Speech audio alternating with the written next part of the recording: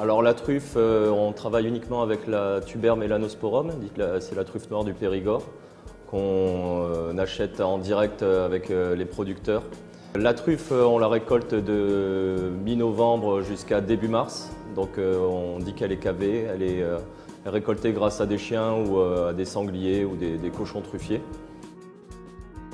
On a donc en recette cette année la truffe en crocosel avec sur du pain grillé un beurre de truffe et un petit peu de fleur de sel de Noirmoutier qui met en avant ce, produit.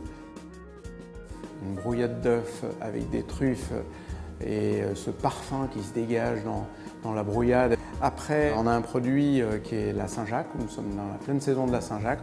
Une salade de pommes de terre de rate du Touquet ou euh, tout simplement une vinaigrette aux truffes et la truffe qui est râpée sur la salade de pommes de terre avec une pointe de mâche. Ensuite, après, on a travaillé donc euh, quelques plats chauds, euh, notamment les pâtes aux truffes, des papardelles à la crème de truffe noire, avec euh, quelques copeaux de foie gras et deux copeaux de parmesan.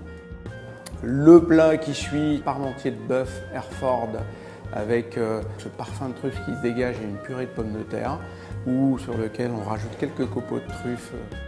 Et puis on termine avec un, pavé de veau, euh, de noix de veau élevée sous la mer, la belle rouge fermier, euh, qu'on a, où on a traité deux techniques sur la pomme de terre, un millefeuille de pomme de terre et un crémet de pomme de terre avec un petit peu de truffe râpée euh, sur la pomme de terre.